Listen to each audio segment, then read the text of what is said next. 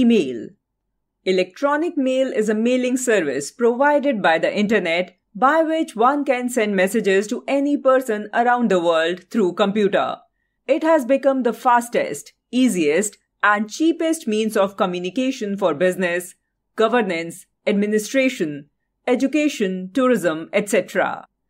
An individual who avails the services of internet must have a unique email address, that is, email ID, by which and to which messages are sent and received, and that can be accessed from anywhere at any point of time with internet connectivity. Mails are received in mailbox of an email recipient. No two mail IDs can be identical. For example, a typical email address would look like editorial at the rate of orangeeducation.in. Generally, there are two parts of an email address, that is the login identity and identity of the email server, both of which are separated by at the rate symbol editorial at the rate orangeeducation.in. Editorial username orangeeducation.in domain name. Username An email address has a user identification name that contains some characters, here editorial. At the rate, the at the rate, that is at the rate sign, connects the username with the domain name, that is second part.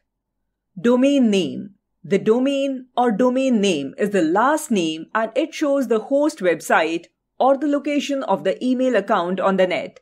Host website is the site in which email ID is created. All the received mails get displayed in the inbox folder of our account. We can click on an email to read it. We can use the compose or new mail option to write a new mail. The email composing screen is composed of the following fields To. This field contains the email address of the recipient. CC Carbon copy. The email addresses of the people to whom we want to send a copy of the message can be entered here. BCC Blind carbon copy. Like CC, this field also allows you to add recipients to whom you wish to send a copy of your mail. But through this field, the main recipient of the mail whose name is written into the field will not be able to see or check who else has received a copy of the mail. Subject It contains a brief description which gives an idea about the email content. Message In this field, we type the message that we want to send to the other person. Send After writing the message, we need to click on Send button to send the message to the recipients. Attachment in case we need to attach a file, image, audio or video with our message, then we use the attachment option. Reply and forwarding mails. In case we want to send a reply to a person or sender of an email, we can use the reply option.